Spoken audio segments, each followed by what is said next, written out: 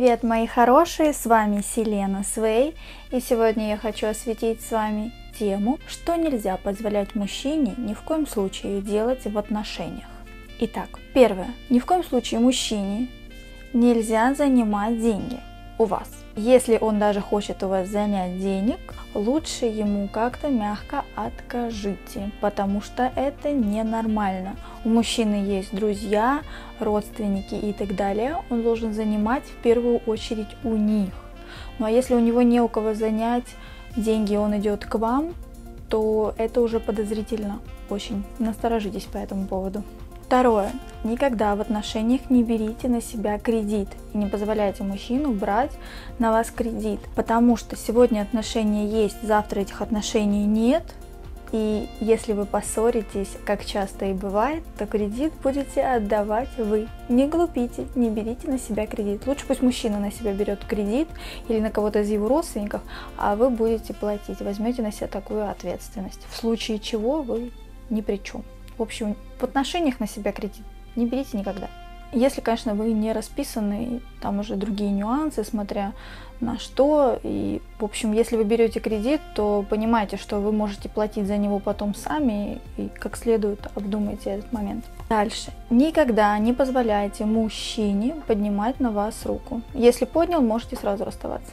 Дальше, если вы уже э, достаточно там взрослые, у вас есть дети, то лучше новому мужчине, если отца нету, да, и у него отчим, и лучше новому мужчине не позволять воспитывать ваших детей, а, если они не в авторитете у него, потому что это может очень плачевно сказаться на ваших детях.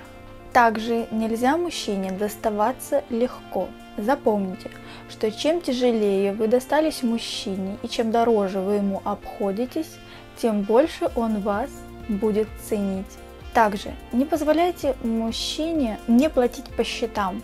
То есть, если вы заходите куда-то в магазин, покупаете продукты, особенно на вас двоих, мужчина должен оплачивать это. Не спешите доставать ваш кошелек и так далее. Это нормально, это норма вещей. Не приучайте мужчину к тому, что у вас там все напополам, как в Европе и так далее. Вы же сами от этого потом страдаете. Я много слушала ситуации, слышала ситуации, когда девушке было неудобно, она доставала кошелек, скорее-скорее расплачивалась, а потом в итоге думала, да что это такое, почему он не заставил меня убрать деньги и так далее.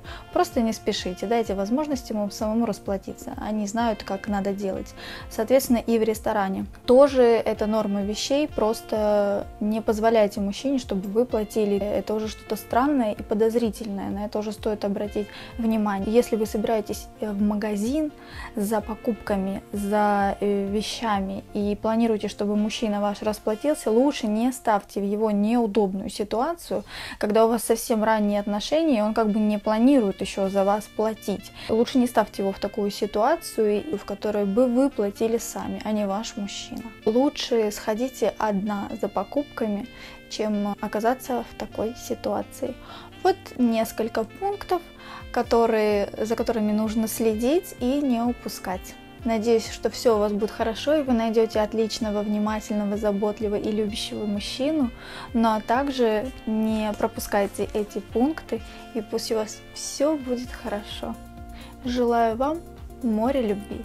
С вами была Селена Свей. Если мои советы были вам полезны, ставьте лайки, подписывайтесь на канал. Каждый день новое видео. Пока-пока!